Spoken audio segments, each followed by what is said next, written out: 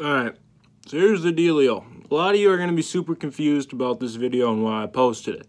Well, I haven't gotten a, what is it, PR all quarantine. Haven't gotten, a, I didn't even get a PR when I was last in the gym gym.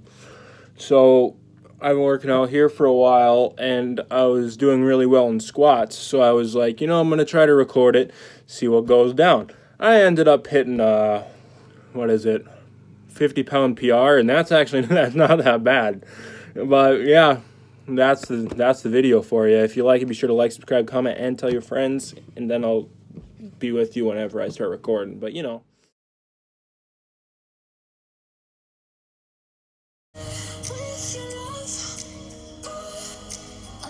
myself, losing myself.